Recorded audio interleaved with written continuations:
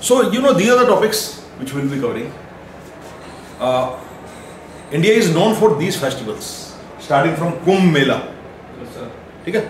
So many people come Kumbh, not only from India, from all over the world. Then Pushkar Mela, again, lot of foreigners comes.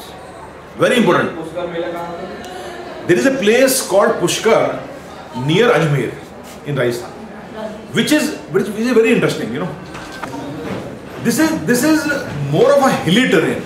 You know, let me tell you, Ajmer, Ajmer also. If you go to Ajmer in Rajasthan, you will find that Ajmer is a kind of valley. There are a lot of around. You will find hills. In one of those hills, up up the hill, you have got Pushkar. What is the significance of Pushkar? I will tell you. I'll tell you when we come to that. So it's very interesting. Okay. Pongal, Makar Sankranti, Baisakhi, Holi, Onam Durga Puja Diwali Kartik Purnima Gurpurab Rath Yatra Bara Wafat very very these are very interesting all these festival very interesting if you understand the significance of that Eid ul Fitr Easter Christmas carnival in India you know carnival is a international festival which is part of a Christian history right so in india the most famous part of the global carnival is goa carnival right? Then ganga mahotsav taj mahotsav khajuraho mahotsav and desert festival. Desert festival is held in jaisalmer. Okay? Basically you know it was it used to be a local festival of trading camels buying and selling of camels. But slowly it became very interesting for the foreigners so they started coming and it became a very very popular global festival like that. Very interesting. Let me tell you you see we, many of many of us want to go to singapore we want to go to thailand we want to go to switzerland. But majority of us ha- us have not visited our own places and the events like these. And you will find these these events are very interesting. All these fairs starting with kumbh now kumbh the interesting part of kumbh is that it is the world's largest congregation of humans at one place. And it can be as high as 100 million people at one place. 100 million which means 10 crore.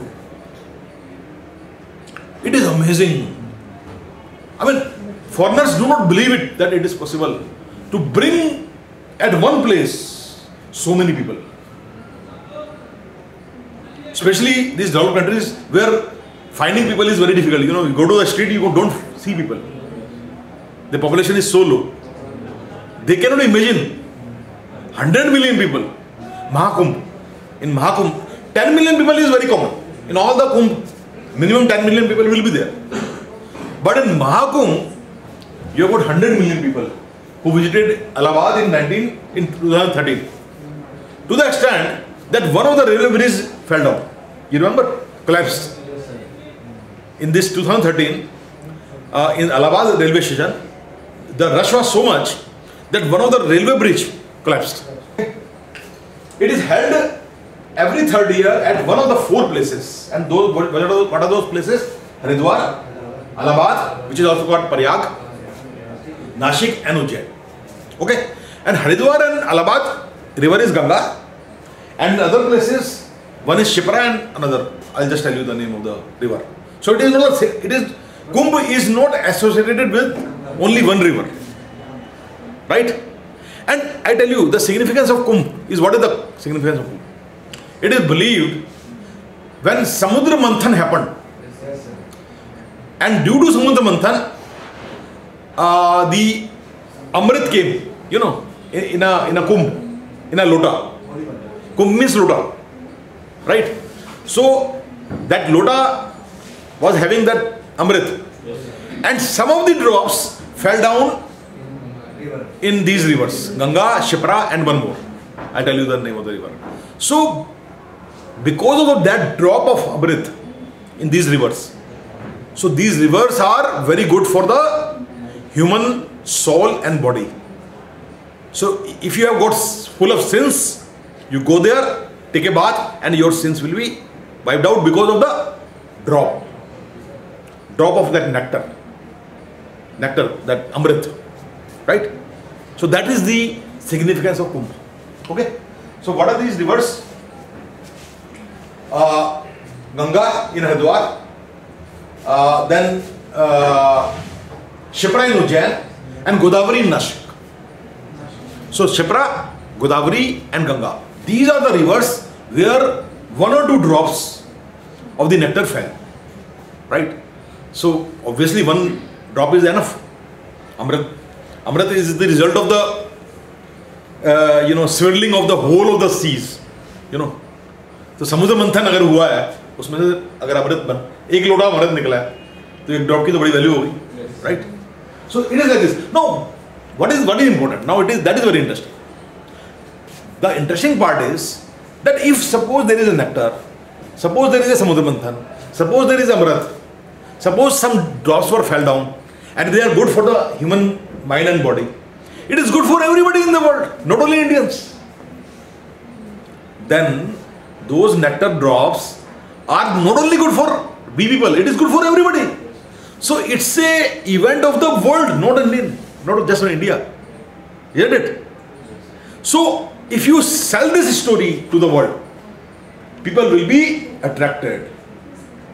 So isn't it a very tourist tourist friendly thing? If you sell this story if you can sell this story to indians you can sell this story to the world also. Right? And many people will believe many people will not believe. So you, let me tell you. Kumbh attracts a lot of foreigners. Probably they are not coming to get rid of their sins. Probably they, are, they wanted to see so many people coming or they just enjoy it. But kumbh is very very famous for all this. So you understand the significance of kumbh okay.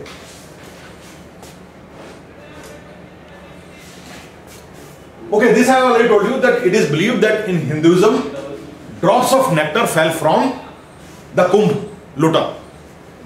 Carried by gods after the sea was churned Bathing in these rivers is thought to cleanse one of all sins. That is the main significance. The first written evidence of Kumbh Mela can be found in the accounts of Chinese monk uh, Xuanzang. In, in Hindi, we normally we used to. You remember, you must have read in your textbooks. Uh, uh, Huan Sang. Huan.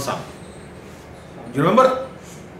See, let, let me tell you, in Indian, if you look, look at the Indian history, there is one unique thing about Indian history. There are no written evidences. Do you know that? The old history, before the Mughals came to India, if you look at the history of India, India did not have written evidences. Do you know the, the reason why, why it is so? Can somebody tell me? Why there are not, not many written things? Indian history, in most of the world, you will find that history, you they will find something written. But in Indian history, you will not find anything written. Even Ashoka story, whatever you know, even Ramayana story, whatever you know, it's all in the verses. There are no written evidence. Nobody has written. Like we say that Valmiki has written. Now Valmiki has written Ramayana, but Valmiki has written Ramayana, which maybe in some 52 lines. That only that uh, verses, so-called verses. Dohe, dohe bolte na dohe. But otherwise, otherwise there is no transcriptions. But one good thing about Indian history is, especially in the Gupta period, uh, Gupta period means uh, the period, uh, Gupta period, uh, 400 AD to 900 AD, that time, when India used to be called the, the golden bird, right? That period, Gupta period. What happened? Many of the Chinese pilgrims came to India because Buddhism was at its peak. Stupas are very, very holy for Buddhist. And lot of Buddhist pilgrims came to India and they wrote about India, about their memoirs when they were doing the pilgrimage in India. And one of the very famous writer of that time, Chinese writer, is Huang Sang. Huang Sang, right? and he, he writes a lot. So Indian history comes from these writings or it also comes from another thing, what is that? One is writing, second it comes from ruins and especially sculptures. Most of the, if you like for example, out of these 4500 stupas, you already know, only probably 10 to 20 stupas are left. All were destroyed by Brahmins. After the Brahmanization, they totally conquered the Buddhist. Actually, Buddhist religion was wiped out from India, right? So, by chance, some stupas were left, and one of them is Sanchi, in Sanchi, Sanchi stupa. It was just ignored. Somehow it survived, somehow, because of the dense forest. Like what happened in Khajuraho also. Khajuraho also was survived because of dense forest. So when these things came out, these sculptures, these stories, corroborated by the writings of Chinese uh, pilgrims, you have the written evidence. And why written evidence is not there, Indian evidence? Probably in India, uh, the education was oral, Guru Shishya, oral, versus even uh, the people who come for marriage celebration, you know, the Pandit, they, they, don't need to read anything. It is, it is there in the mind. In India, in India, most of the knowledge from Guru to Shishya was not in writing. If you if you look at the film movies of that time, they are the learning is by speaking. Right? Even even when you do prayer, uh, some God prayers, you got uh, something you know it, it is it is the prayer is in rhythmic form in the mind. So indian history has come orally. So when history has come orally probably it is not authentic. Probably it is not authentic because it changed with time. But written thing cannot change right? So one good thing about indian history which came out was from the writing of the pilgrims who visited india. And most of these pilgrims were from china. And they came to india because of uh, visiting stupas buddhist stupas. Okay? So this is you know uh, uh, so the, the, uh, in that writing kumbh mela has been mentioned. So kumbh mela is very old. Even say for example what was the the time? 629 645 629 coincides with the birth of Muhammad prophet Muhammad prophet was born in during that time right okay Pushkar no Pushkar again there is one interesting part of this Pushkar Pushkar I told you is a place in Rajasthan which is on the hill now it's very small village Pushkar village and it is famous famous for a sarovar Brahma sarovar sarovar okay okay? Now what is the meaning of brahm sarovar? It is a sarovar sarovar which signifies and it is in front of the temple of brahma. So it is the only place where brahma is worshipped. Now who is brahma? As per the hindu mythology brahma is the is the generator of this humanity. Who, who is the ब्रह्मांड का जो निर्माण किया है। So so what happens so if he is the father of humanity he is the father of the whole world not just Hindus it which means any one whether it is Christian whether it is Muslim whether it is Hindu whoever is there on this earth he originates from Brahma so Pushkar has got significance for all over the world And if you go to Pushkar, you will find more foreigners than Indians. It's very interesting. In Pushkar, you go and you know what has happened? There, this village is there. Shops, uh, these houses are there. And in every house, you'll find found a German bakery or German restaurant or Mexican restaurant or Italian restaurant. You know, it's very, very, you'll find it's a very different place. In fact, it's very interesting place from that angle. And you will find at some times you will find some procession, some religious procession. These sometimes you will find the processions only of foreigners. There is no Indian. Isn't it interesting that in India you are having a place where a religious procession is happening and this procession is being led by the foreigners, not the Indians, in the Indian dresses. So it's a very, very, very interesting place, right? Pushkar. And Pushkar Mela. Uh, Pushkar Mela, Pushkar ka Mela, it is called Pushkar ka Mela, actually originated from the camel fair, buying and selling of camel, right? So when buying of selling of camel happens, people from different villages come there. So a congregation take place, and slowly it became a very popular thing, and a lot of foreigners started coming. And there are two, in fact, there's two similar kind of melas. One is Pushkar Mela. Again, it originated from the camel selling buying. The, another is the uh, desert festival of Jaisalmer. Again, that is also result of the buying and selling of camel.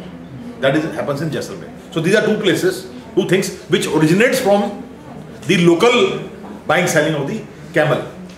Okay, camel trading. Okay. Because camel is the main commodity of desert, right? So that is the that is the uh, interesting part of Pushkar Mela. And there are events like Matka Phod, Lambi Mooch. Yes. किसकी मूछ सबसे लंबी है you know, so people come with different mustaches. So the the one who has got the longest gets award, and bridal competition you know those kind of things. So so many things happens. And probably i think it is also associated with group marriages. Probably i'm not sure. These are the things okay? And exhibition match cricket match is also happen take place cricket match during the festival. So so many things happens. It's a multi days I mean, it's not a just single day. I think it is a, some 10 days something like that. Okay? Pushkar mela. These are some of the pictures. Of pushkar mela you can see they, these people have come to sell their camels or buy you know. So probably somebody has bought it and you will find a lot of places where there will be some water ponds to uh, for the benefit of the camels. They can drink water there. Okay? So but basically the, the, it is significant for the camels. Then there is another event there is another event that is pongal it is also called makar sankranti pongal makar sankranti makar sankranti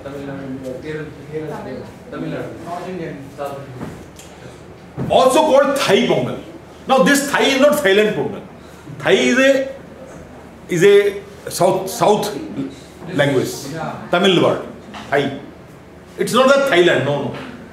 This also called Thai Pongal means uh, I don't know the meaning of the Thai, but it's some uh, south south language, south language, maybe Tamil or some language.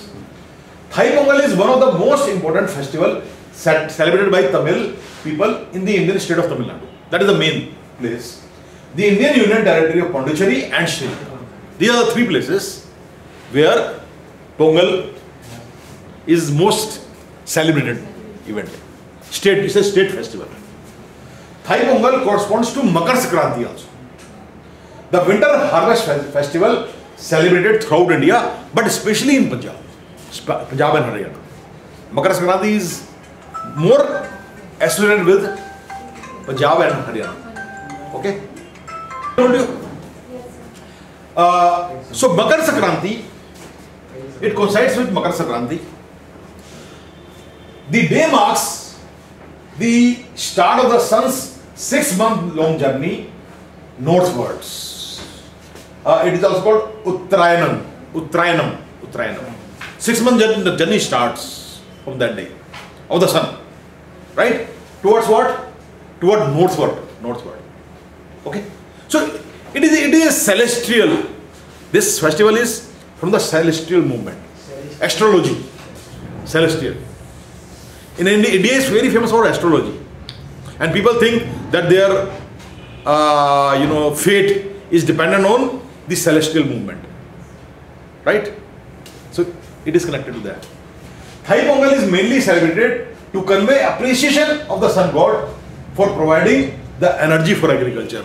In India, agriculture is the result of fate, If the fate is good, rain will come, rain god will come, and will give a lot of waters. If the rain god becomes very furious, if it gives more water than required, again it will be destruction. So fate, what does the fate means? Not less, not more. No more, no, no less. That is the fate. So it is very much dependent on the God. Right? So what they do? They try to they try to make some god happy. Son, you are so good. You know, like see, so you you tell good thing about the God so that he takes care of you. Right? Very interesting. Uh, part of the celebration is the boiling of the first rice of the season, consecrated to the sun, the Surya Mangala, Mangal, Mang, Surya Mangalayam. So, so the significance of this festival is connected with the uh, appreciation of sun god. But what you are the you are the thing. We are dependent on you, right? Obviously. See, earlier what people used to think that all these rain gods, clouds, all these things happen because of God. If the God, uh, the sun god, sorry, if the sun god is happy, everything will be, everything will be good, right? That was that was the thing. Uh, Makar Sankranti, which coincides with uh, Pongal, is a Hindu festival which is celebrated all over the all over India, almost all parts of India and Nepal, and in different kind of cultural forms. Okay, it is it is actually a harvest festival. Let me tell you, if you look at Pongal also, Pongal also is connected with the harvest, right? Because see, the main occupation of the older people, the older times in India was agriculture, right? And they are making sun god happy so that rain god is happy. And if rain god is happy, their agriculture will. So if you look at it, the base of Makara Sankranti as well as Pongal is same, actually. Right? So Makara Sankranti marks the transition. Again, sun is also connected in the both the festival. Uh, Makara Sankranti marks the transition of sun into zodiac sign of Makar Rashi, Capricorn. Makar Rashi means Capricorn. Again celestial, again celestial. Celestial movement, planets, sun, okay, on the celestial path. The day is also believed to mark the arrival of spring in India and is a traditional event. So again, both Makar Sankranti as well as Pongal are connected with the uh, the uh, with the uh, mood of the god. So make the to make the mood of the god happy, you do something for it. So you do you celebrate this festival to make the god happy. Makara Sankranti is a solar event making one of the few Indian festivals which falls on the same date in the Gregorian calendar every year, that is 14 January, with some exceptions. So it is it is the only festival. If you look at Indian festivals, you look at Holi, you look at Diwali, you know they are not connected with the calendar, the the the modern calendar.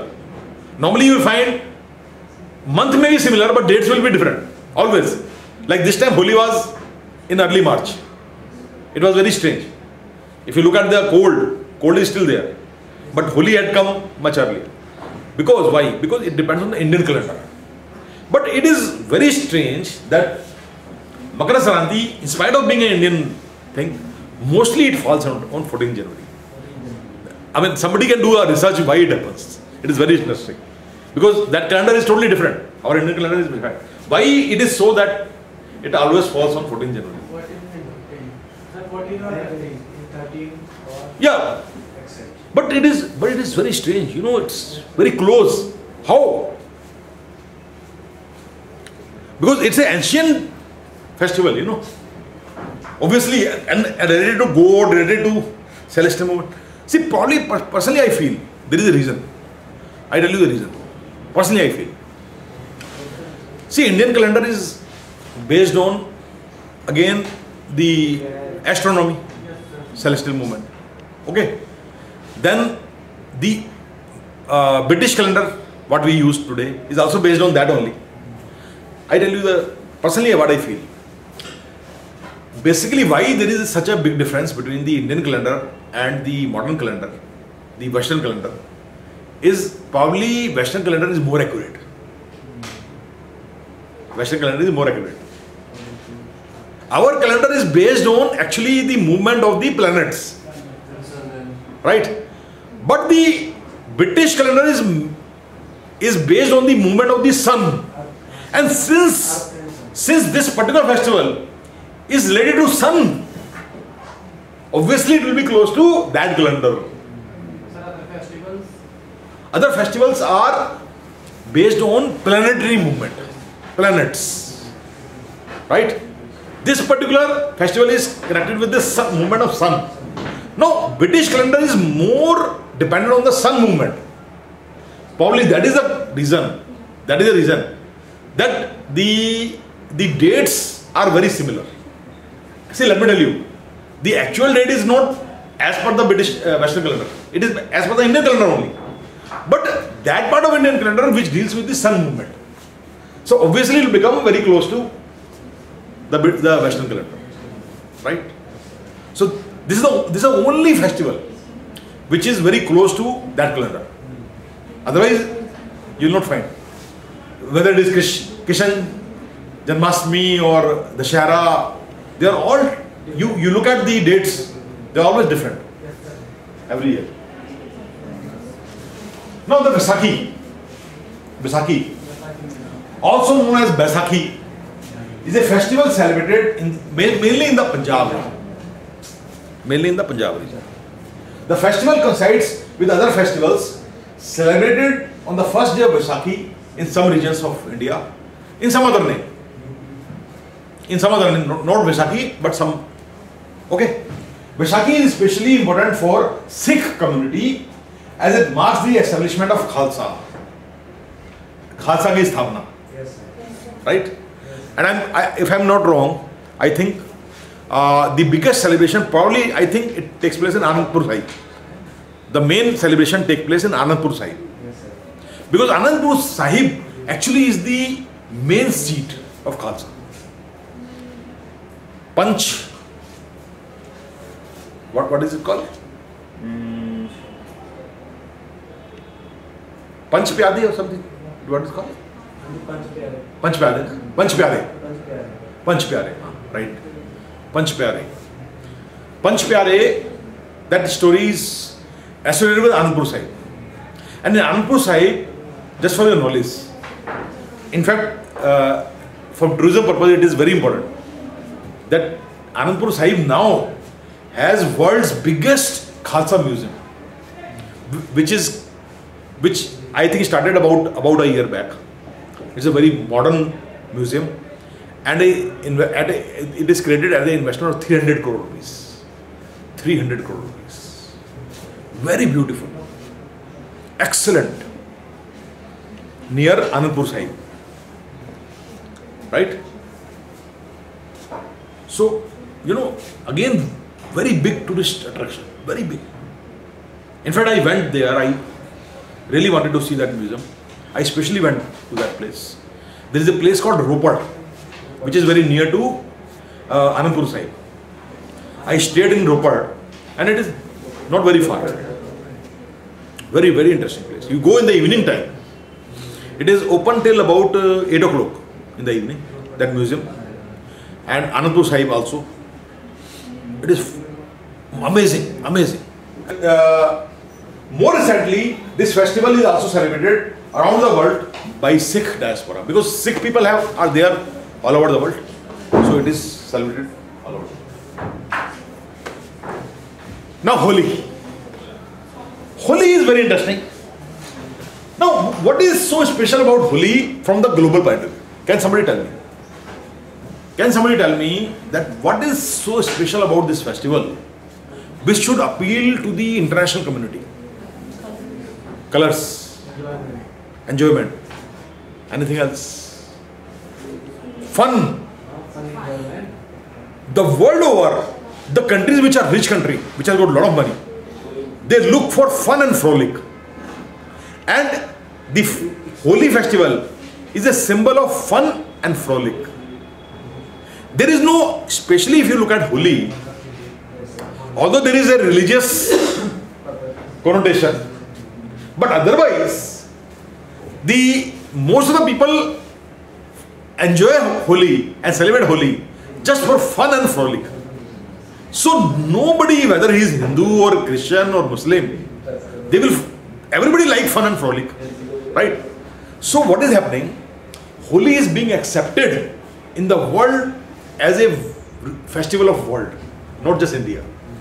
It is gaining popularity, like carnival. Now carnival again is associated with fun and frolic, but it's a Christian festival, and you you must be knowing in India Goa carnival is very famous, right? It is part of the worldwide carnivals. So carnival is one festival because it is fun and frolic festival. Even Indians celebrate, like in Goa. So similar thing is happening with Holi also. Because of the colors, because of the fun, because of the frolic, it is accepted around the world. Okay? There is a festival which is tomato festival. Ha! It is very similar. It is, I think, in Spain. Spain. In one of the movie it was there. I think jindgi Milegi Na Dobara. So, tomato festival. It is, it is very similar. You know what happened? Whichever festival is a fun and frolic festival. Like for example, now we never knew about tomato festival. When it came to our movies, we know now, now, know. Right? So probably in India, people will start start copying then or maybe celebrating the tomato festival. It is possible. Like we have started Valentine, probably we can start tomato festival also. Similarly, what is happening when this Holi thing comes in the Hollywood movies, like James Bond movies, there James Bond is coming, he's searching for the uh, villain, and he comes to India. And whenever when he comes to India, somebody puts colors. What is this? And, oh, this festival? Oh, so he says to hell with the villain, I'll celebrate the Holi festival. The James Bond is celebrating festival, and it comes to the movie. So the world will realize, and it is already happening. It is already. The world has already exposed to this festival in a very big way. Uh, there are so many different kind of documentaries and things like that where Holi's celebrations are shown. People get, oh, what is this? Everybody is having this color, that color. You know, it's very strange. So people have accepted. People are accepted like probably will accept the tomato festival. So people have already accepted the festival of color, right? So the peop so people are looking for it. I mean, they, they don't mind in the world over to use colors. You know, nobody nobody minds fun and frolic, right? So this is the significance of this festival. Uh, the religious connotation of this festival we already know. It is associated with Holika. So Holi celebration starts with a Holika bonfire on the night before Holi, where people gather, sing and dance. The next morning is free for all carnival of colors. So obviously this particular thing will appeal to the world, right? Probably the burning may not, people will not accept the burning kind of thing, but they will definitely accept the next day, the, the colors. Okay. Now another very interesting festival is Onam. Onam is a Hindu festival celebrated by people of Kerala. Like Pongal is famous for Tamil Nadu, right? Onam is famous for Kerala. Malayalam. Malayalam. You're right. Okay. So, what is the significance? It is also a state state festival of Karnataka. Uh, sorry, Kerala. Like Pongal is for Tamil Nadu, uh, Onam is for Kerala. With the state holidays on four days. It's a four day holidays. So obviously like our Diwali kind of thing. Uh, starting from Onam Eve on the third Onam day. The festival falls during Malayalam month of Chingam. That is either August or September. And marks the commemoration of Vaman avatar, Vaman avatar of Vishnu. Sir, what is kingdom? Chingam is uh, the like we have got an Indian calendar, na? In Indian calendar, Kartik. As the Kartik, Akshay, you know the you know the Indian calendar. So different like what we know is January, February, March, April, like that. So in Hindu calendar you have got Kartik, this, this, I, I really don't know. So similarly, in the Malayalam calendar, one of the month is Chingam. You know, so Chingam again, maybe 30 days of, so part of it falls under, part of it falls under uh, uh, August and part of it falls under September. So again, maybe 30, 40 days, 30, 12 days, 32, 31, whatever days are there. So Chingam month, Chingam month, right? Okay. So, then, so one beauty about this uh, uh, uh, event is there are a lot of events. Like one of the very interesting thing which what do you know about Kerala is the procession of elephants with lot of ornaments. You know, you you decorate the elephants and you know you do that. And one other other thing is the boat races. You know, Kerala is famous for boats. Um, uh, just like ki- kayaking, kayaking. You got many people who are rowing the boat, and you know it's a competition are there. The boat races. Okay, Noka competition, right? In the backwaters, Kerala is famous for backwaters. Do you know what is backwaters? You don't know backwaters. No, what is backwaters? What is so special about Kerala? You should know. Kerala is the only state in India which has got backwaters. Backwater means lagoons. Basically, it is a lagoon. Now, what is a lagoon? In, in the world, there are two famous lagoons in the world. One is Kerala lagoon, and second is Venice in Italy. Italy के बारे में सुना होगा ना आपने घर से बाहर निकलते तो सड़क नहीं होती बॉर्डर साथ देयर ना Venice Venice what is Venice Venice houses are there and you go out come out and then you go to the Transport. transport is on the water right? So it's a lagoon. What is lagoon? I'll tell you the lagoon. But the, the it's a, isn't it very beautiful that your houses is in the water you know like? So same is the case in kerala. There are floating restaurants. they have got floating restaurants. They have got floating hotels in backwaters. The so-called houseboats they float right? And you have got floating markets. And one good thing is it is 100 times better than venice 100 times better than venice why in venice you have got modern buildings but out here it's all natural you go to kerala backwater it is amazing amazing Venice is nothing, I'm telling you, nothing. Kerala is called as the Venice of East. So they, they say that Venice is best, but I, I tell you, Venice is nothing. Believe me, I've been to Venice. Venice is nothing. It's all modern. You got the dirty water, basically, you know, obviously. But in Kerala, it's natural. You take a boat in the morning, water boat, for the full day. Just go around hundreds and hundreds of kilometers. You just go around hundreds and hundreds of kilometers. They will take you. All natural, all natural. It's so beautiful. Or you stay in a houseboat. In the dead night, somewhere in the backwater, you come out, and it's all peaceful, and the moon is there. I mean, amazing. It is the best place for honeymooners. Best, best trip for the honeymooners. I'm telling you. There is no no comparison of this in the world. You cannot compare. So beautiful. So Kerala backwaters is famous for now. What is lagoon? Lagoon is nothing but it's a you know it's a natural method of merging of river with the sea. Like for example, when Ganga comes, Ganga comes in a Vikral route. You know, like it comes to Calcutta and then enter into sea, like very wide, like that, with a bang. You know, there is one way of entering. Another way of entering for any river, if the force is not there, is through several tributaries. You know, this way, that way, hundreds of tributaries instead of a single stream. Probably, probably, probably. So, so Onam is uh, that part. Okay. So we'll go to the next. Now you can see one of the picture of Onam. These kind of celebrations take place. You you will see another very interesting part of it. That in these festivals, fest elephants are there, water is there, even the tigers are there. Because wherever in those times, wherever there was an elephant, there was tiger also. Forest.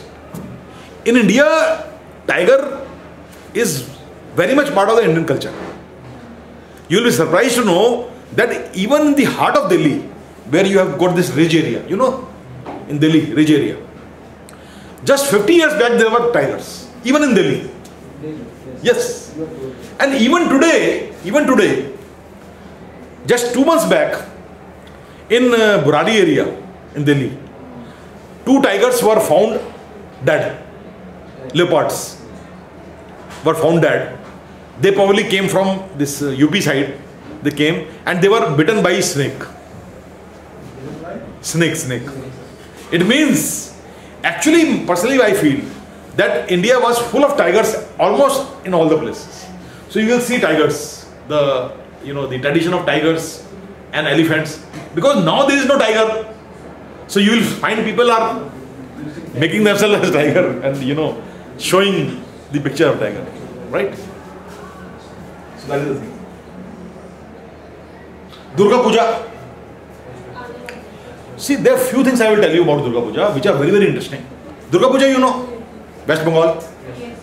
It is celebrated by Hindu Bengalis. Bengalis normally are either Muslims or Hindus. In India, in West Bengal, mostly Bengalis are Hindu, mostly. But in Bangladesh, mostly Bengalis are Muslims. Only 8% of Bengali, uh, West Bangladesh population is Hindu. Only 8%. So this, this is celebrated by Hindus. And I will also tell you some very interesting part of how this festival became very famous. I'll tell you. It was not very famous. It became famous in last three, four hundred years. It is not a not like Diwali and Holi, which was very, very popular and very widely celebrated. No, no. Eh, it's a very, very interesting part. I'll just tell you about it. So it is celebrated to celebrate the worship of Hindu goddess Durga, Nari Shakti, Durga, right? Durga.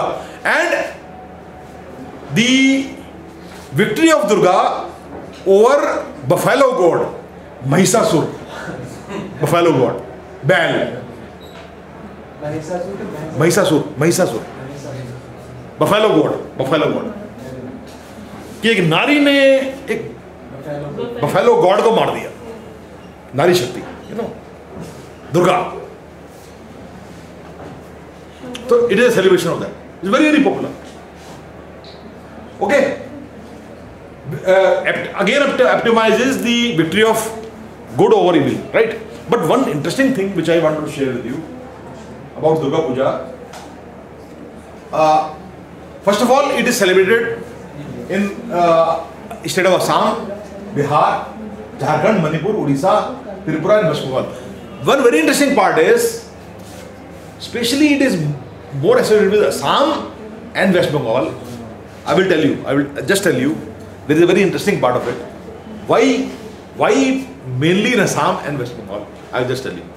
But you should know that it is very famous in assam bihar jharkhand manipur odisha tripura and west bengal. Right? Where it is a five day annual holiday. Five days holiday in these states. Right? Durga puja is also celebrated as a major festival in nepal where 91% people are hindu in nepal.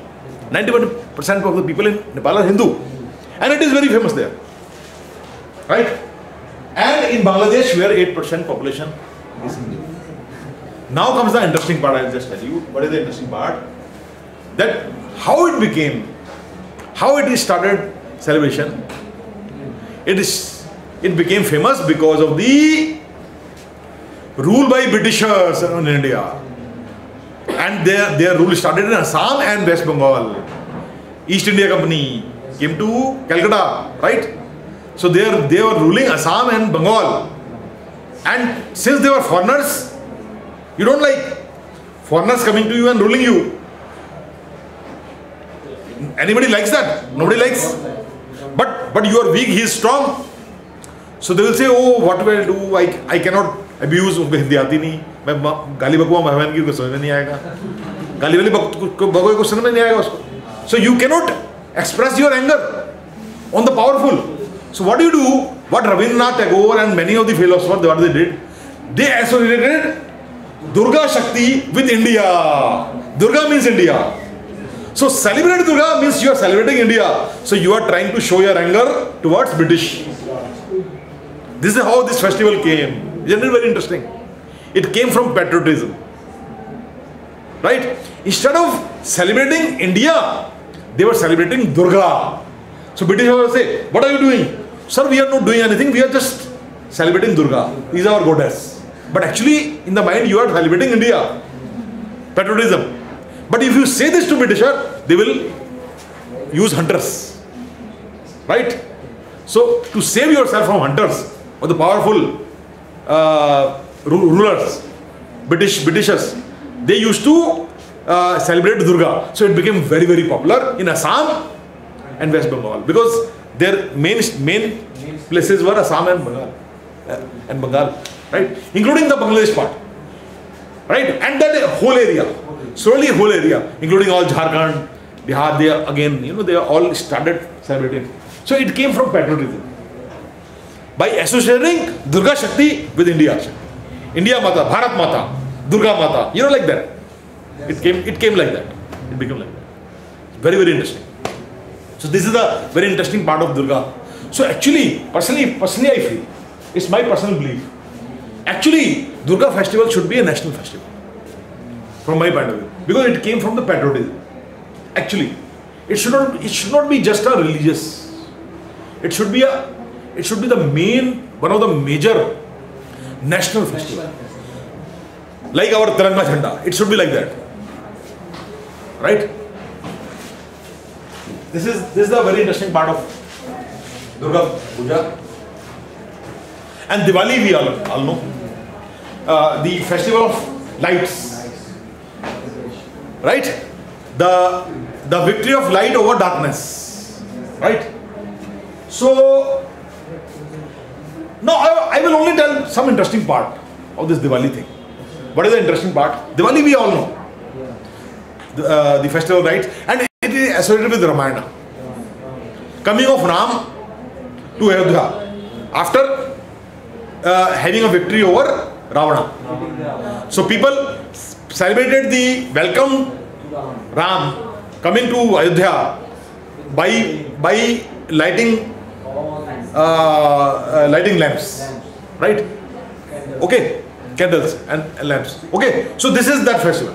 But the interesting part is it's a very very old festival. Very very obviously Ramayana is old means festival is old.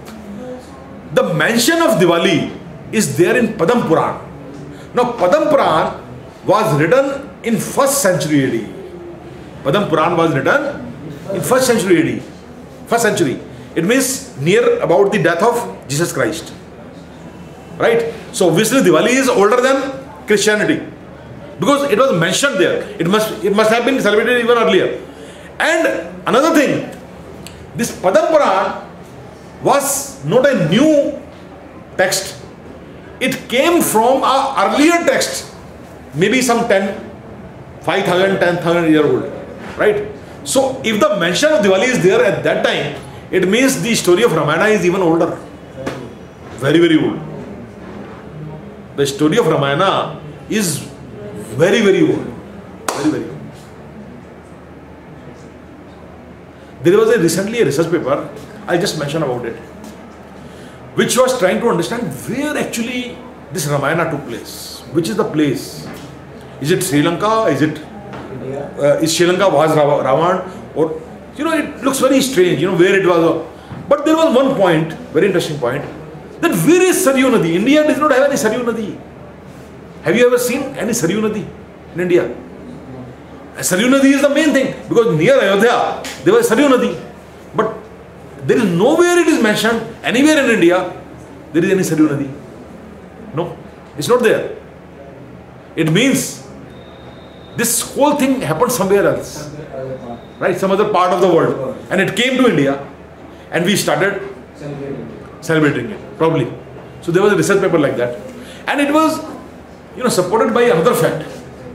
It was supported by another fact that there is a name mentioned in Ramayana, Kekai. Kekai, who was the the mother of Bharat. Now, Kekai is not a Sanskrit word. It is not a Hindu word. Kaushalya, okay. But Kekai is not a word. Kekai is more like like in Mahabharata you have got Gandhari. Gandhari.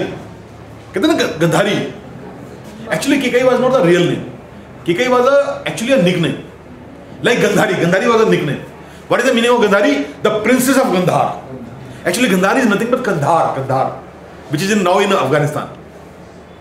Right? Kandhar, which is part of Afghanistan. So she came from Kandhar. Gandhari. No, no, Gandhar. But Kekai, so people try to do research that what is this Kekai? So they came to know Kekai means Kekai. Kekai means a princess of Caucasus region. Because Caucasus region, the actual word was Kekai. Kekai. Caucasus region is what Kazakhstan, Central Asia, Uzbekistan, Georgia, you know, that's Central Asia. That is called Caucasus, Caucasus region. Right? So probably, and they tried to find out, and they actually found Saryu Nadi in in Kekai, in Caucasus region. Near that place, there is a river which is called Saryu. Even today. Right? What does- what does it mean? It means this whole story actually happened in that place. Right? So it's just a research paper. I mean, we really don't know. But actually, but just a research paper. And it became very famous story and uh, we all know that this the so-called Ayodhya was actually established by Gup, in the Gupta period by one of the Gupta king after getting so much influence by the story of Ramayana. He only created. So Ayodhya is not the name which is the original. No, no, no. This was created because he wanted to set up a Ram Rajya. And actually they set up the Ram Rajya. Because Gupta period is our main, most interesting part of our Indian history. The golden period. It was a Ram actually Ramrajya. So he wanted to establish Ramrajya because he was so much influenced by Ramayana. So he created this Ayodhya and all these thing places. So basically, see Ayodhya, Ayodhya establishment is 7th century, 8th century in the Gupta period, right? So obviously it is not the real uh, Ayodhya, obviously, right? So this is all just for your knowledge, just to give you an idea that as per the research. Okay. The belief is something else, but research is something else. Okay. So this is what about I wanted to tell you about Diwali. Okay. Guru Parv. We have got five minutes. Okay. Guru Parv. Sikh. Guru. Now Guru there is one interesting part of it. It is the celebration of the birth as well as death because in most of the many of the religion in india the death of a god or the birth of the god has got the same significance because as per our culture god do not die they just go they come and go birth means coming and death means going but they are there god can, can never die so so there is no, nothing to be sad about it right so Guru Parv signifies signifies the death as well as the birth of their gurus. Right? So Guru Parv signifies both. Okay? So that, that's the beauty of this festival. Uh, and then there are a lot of history about it, especially the writings of Guru Arjan Dev. And writings matters a lot in Sikh uh, religion because they worship Guru Granth Sahib. So Guru has written something that is very very important. Obviously, right? When you worship Guru Granth, which means so whatever is written is very important for you. So what is written, what Arjun Dev especially wrote about, he wrote about the especially the dates. He gave a lot of focus on the dates of birth, date of death of different gurus. So obviously they become festival. So Guru Guru Parv obviously is the festival of Guru. Parv, Guru ka Parv, right? And it signifies, uh, it's a Sikh tradition in celebration of an anniversary related to lives of Sikh Guru, uh, including both birth as well as death. So I think there is no single Guru Parv. There are multiple Guru Parv. Uh, they are either the birth dates or the death dates. Right? Anniversary of the birth anniversary or death anniversary. Right? So all are Guru Parv. But very interesting. Uh, then Rath Yatra. Rath Yatra, Jagannath Puri. Jagannath Puri, especially. Rath Yatra, Rath, Rath Yatra. Unstoppable. Rath should not stop. Movement of deity from one place to another place on Rath. Even if people die. अगर आप रथ के आगे सामने आओ आओगे मर जाओगे रथ से दूर रहो and you know many people have died Rath Yatra many people die because rath can not be stop if even if somebody dying no no rath has to be moving no no no it should there should not be any break. Gods are there on the rath. Right?